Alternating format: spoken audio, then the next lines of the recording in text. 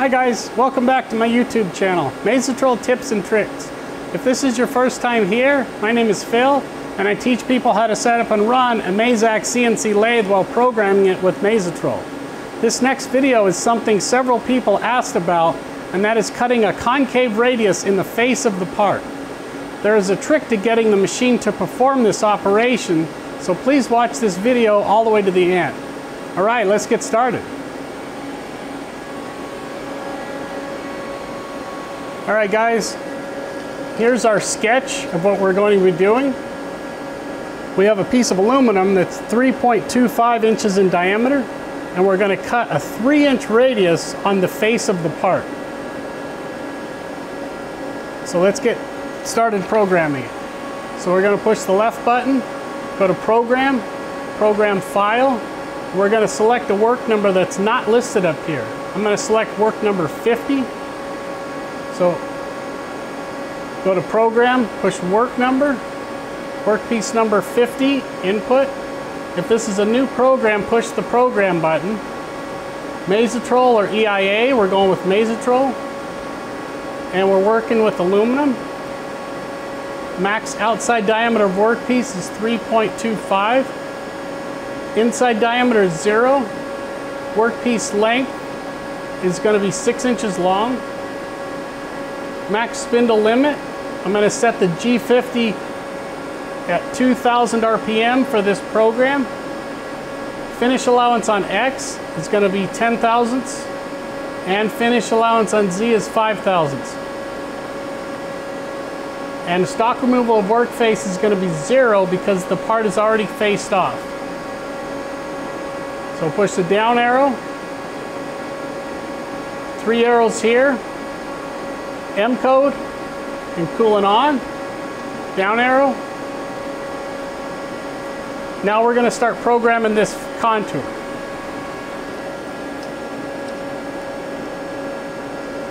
In order for the tool to go all the way down to the center line with no hole in the part, you would think that this would be programmed as a bar face operation, but in this machine that will not work. This actually has to be programmed as a copy in in order to get the tool to run all the way down to the center line. So that's the method we're going to use. So we're going to use the copy motion and then on the inside and then the cutting point on X is going to be zero from the center line. Cutting point on Z is the face of the part, which is also zero. Stock removal on X, we need to have the stock removal equal to or greater than the finish allowance. So I'm going to put in 10 thousandths there, and then stock removal of Z. If you notice, from the face of the part down to the bottom of that radius, we have 400 thousandths deep. So that's what we're going to put in as our stock removal on the Z face, is 400 thousandths. Uh, surface speed for rough cut, we can just hit auto. And roughing tool number, we're going to use tool 10, offset 1, tool 10, offset 1. So let's go look at tool 10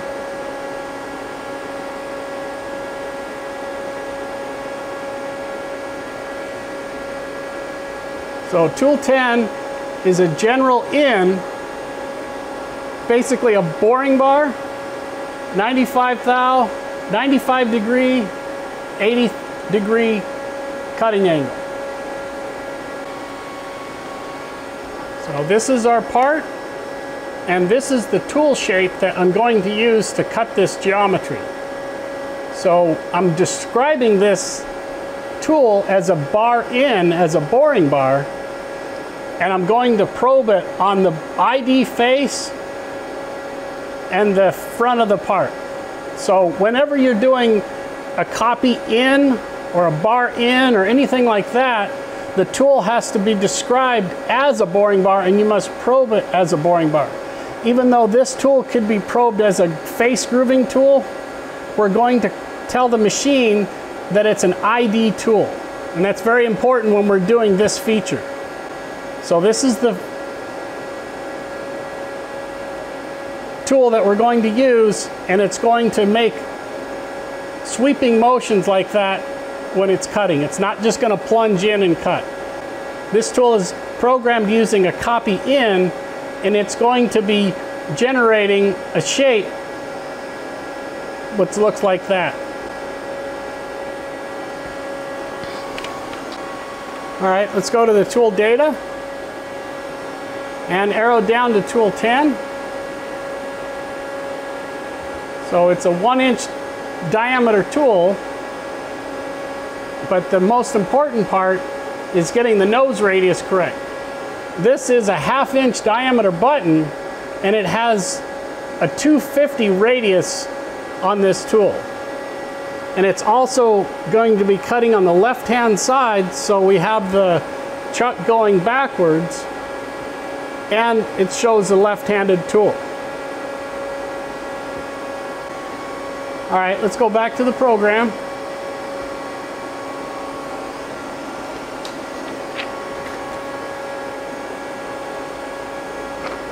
So first thing we need to do is pick a shape that looks like the concave radius. So this symbol is for the concave radius. Starting corner, I can put a small radius right here to break that edge so it's not sharp. Or I can leave it blank to have a sharp corner. So that's what the starting corner on this process is going to look like is if it has a radius here or a chamfer, but we're just going to leave it blank. So starting point on X, it's not defined on the print, so we're going to put a question mark in there. Starting point on Z is the face of the part. Final point on X is going to be the center line of the part, which is X0. And the final point on Z is going to be 400 thousandths into the part. And then it's asking us what is the radius. So the radius is three inches. And I'm going to leave the surface roughness at zero so it roughs and finishes the geometry at 5 thousandths feed rate. I do not want to put a number seven in here because that will run the feed rate really fast because how large the radius is on the tool. So when you're doing real big radiuses, just leave this area blank on the older control. I cannot specify a feed rate on a finish pass like I can on the newer machines.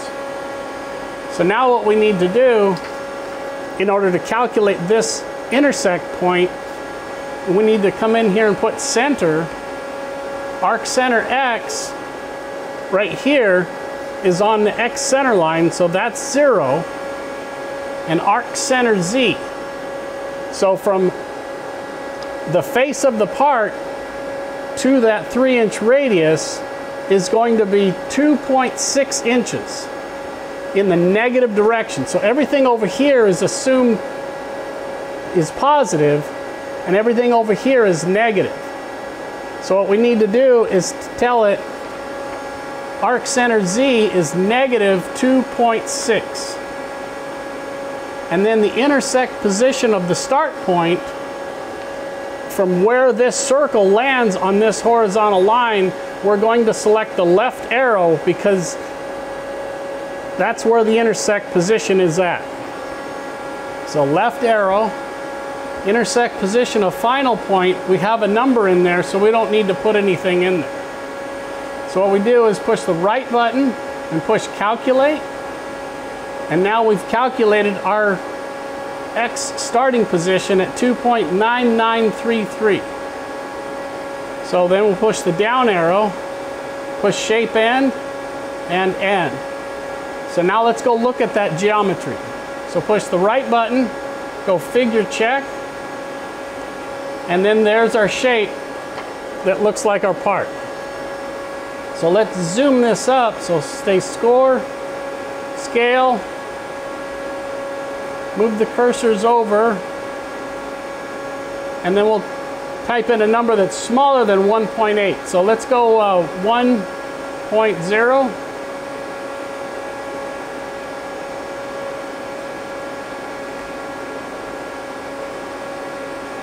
And there's our shape of the part. So now what we can do is go to the toolpath check screen. So go program, program check, and check continue.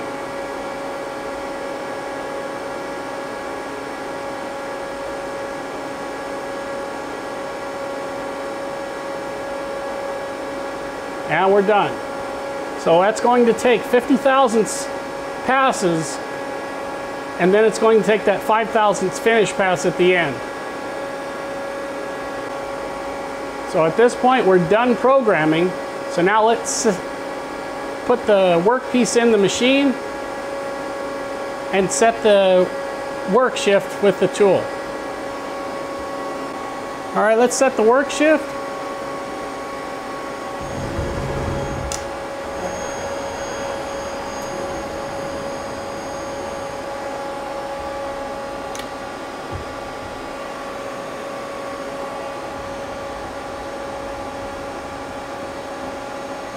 And that's touching the face of the part. So now let's come in here to program, program file, arrow over to the Z offset teach and push Z0 input. And go to position, go to auto, go to work number 50, and we're at Z0.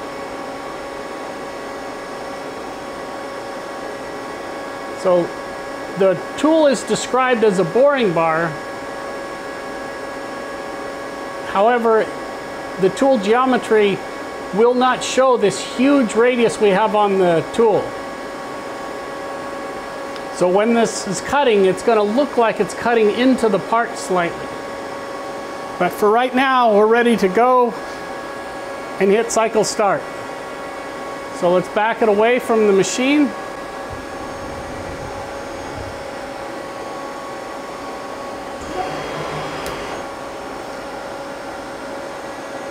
And let's hit cycle start. Auto, we did call up the work shift, program 50, turn on the coolant, and let's hit cycle start. Oh,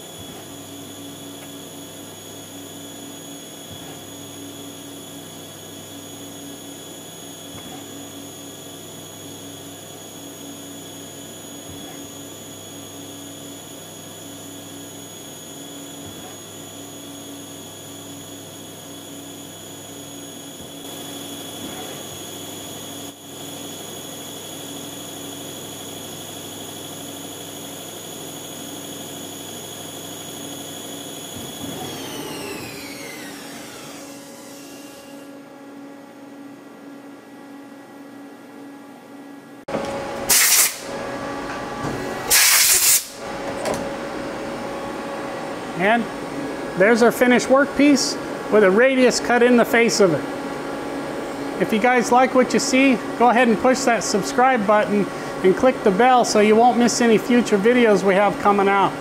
If you guys find this video helpful, please give it a thumbs up. That helps out my channel and gets YouTube to share this video with more people. Also, if you guys have suggestions for future videos, please let me know down in the comments. Thanks again for watching.